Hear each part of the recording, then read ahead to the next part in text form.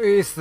今回はジャンプ値なんですけども、本日お知らせ更新されまして、情報修正されるキャラクターがいるというわけで、まあ見ていこうかなと思うんですが、合計6体ですね。え対象キャラが、え下から、えイベキャラシリュウ、えスリーゴテンクス、パーコ、大、限定氷河と、えー、限定うずいさんというわけで、え、上二人なんでおんねん？あなたたちのような上級階級者が来るような場所ではないですよ、ここは。もっともっと弱いキャラが来る場所だと思うんですけども、まあ見ていこうかなと思います。まあ順番的にも一番下から見た方がええな。え、まずはシリュウ。えー、というわけで、イベキャラですね。何が変わったかというと、えー、ステータスがちょっと上がりました。まあ、HP 上がんのは嬉しいですね。んで、必殺に、えー、これは、列勝がついたんかな決闘忖度の列車が謎についたというムーブ。えー、必殺レベル12で460%ダメ HP3% 消費。えー、自身の必殺ダメ26%アップ2ターン。えー、1000の列車決闘忖度9000で追加ダメが6000というわけで、うん、まあ、誰が使うねん決闘忖度なんですけども、まあ、460という火力は、まあ、イベキャラにしては高いし、えー、必殺ダメ26%積んでくれるのも優秀なんですが、まあ、使うはずないので、基本ダメ1000じゃなくて9000やったら強かったな。なんで決闘忖度にしたんかは意味がわかりません。うーん、でもって友情技。えー、この友情技に関しては HP の、えー、回復量が伸びました。えー、HP7600 回復必殺変換で、え、必殺の基本ダメージも、えー、140っていうクソみたいなダメージ量になったんですけども、それやったらターン数を、あの縮めて欲しかった。あのー、効果そのままでターン数が8ターンとか、まあ、ないしは9ターンぐらい、とにかく1桁になればめちゃめちゃ強いキャラクターになっていたんじゃないかなと思う。回復必殺変換はめっちゃ強いんで、でもさすがに7600回復強い。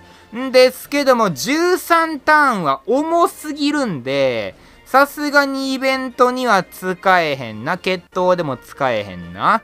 うーん、で、特性に関してが、え、これは何が変わったんですか？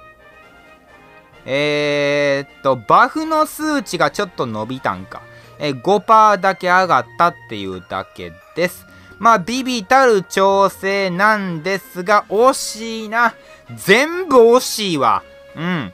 もうちょっと変わってたら最強とは言わずして、えー、ちょっと強いイベキャラにはなったんじゃないかなと。プチメダル交換所のキャラなんでね、あのー、80万プチメダルって約課金でいうところのもう3、4万ぐらいの価値なんで、もっと強くていいと僕は思うんですけどもね。まあまあまあまあまあ。んで、お次、3、5区。もうこのキャラも2年前のキャラよ。2020年の年末に登場したキャラなんですが、友情技が変わりました。えーと、邪魔必殺を除く最下段横一列虹に変換。HP1 万5000回復3ターン。え黄色赤の必殺ダメ28%アップ。まあ、バチ回復、1万5000回復はもうレジェンド1回分なんで、それが9ターンで打てる強さ、めちゃめちゃあると思います。そして二次変換バフ。まあこれクソほど強いんですけども、邪魔プチを上書きしないんですよ。まあこれ前限定闇団長が情報修正された時にも言っていたとはまあ、自信持って言えないんですけども、これ邪魔変換もしてくれたら、めちゃめちゃ強い。必殺プチを除くだけやったらクソ強い友情技。もうイベントではめっちゃ使える。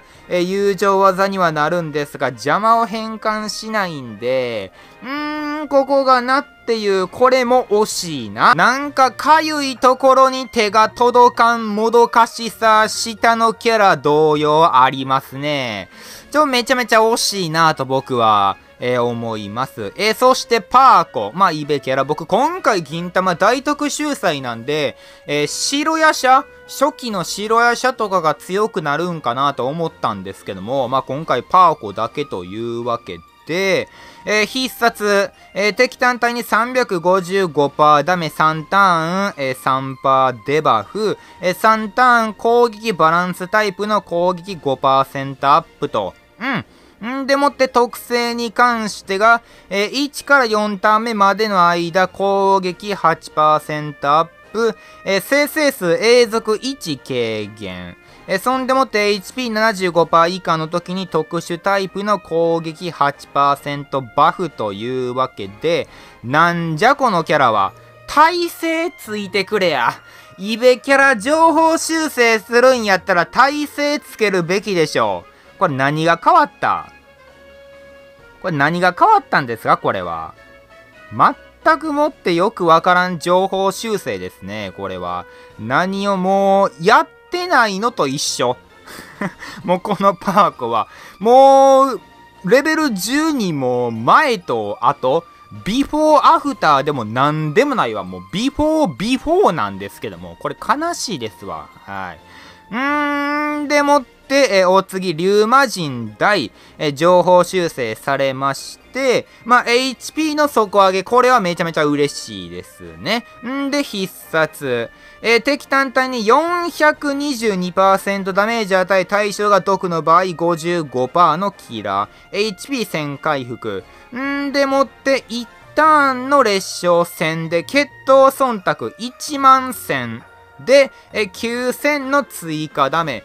なんか列車強化してます。なんか今回の銀行、えー、限定銀行、今回の銀玉大特集祭の新限定キャラなんですけども、そのキャラが列車持ちっていう噂があるんで、なんかそれと一緒に使ってね感。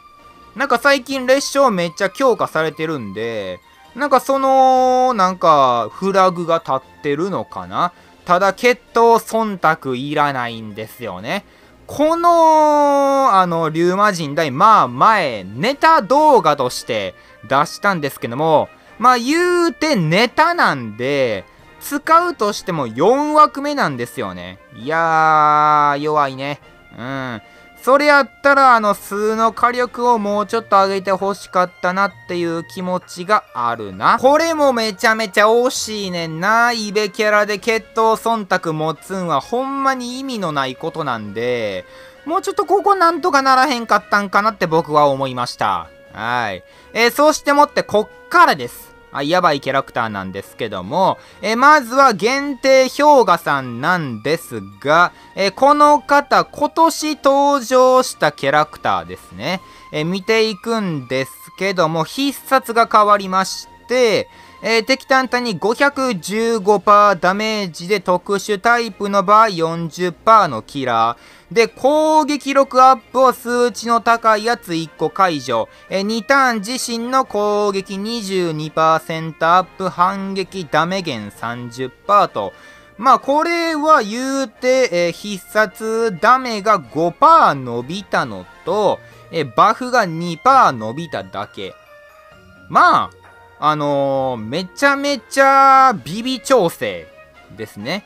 これはもうやってないのとほぼ一緒なんで、まあこれは別に全然いいんですけども、えー、友情技なんですわな、問題は。えー、邪魔必殺を除く盤面外周すべて虹に変換、HP300 回復、えー、決闘忖度9万救急車通っていきまして、えー、一旦サポート対象のメインキャラを、えー、挑発、えー、3ターン青黄色の必殺ダメ30%アップ、決闘忖度64%というわけで。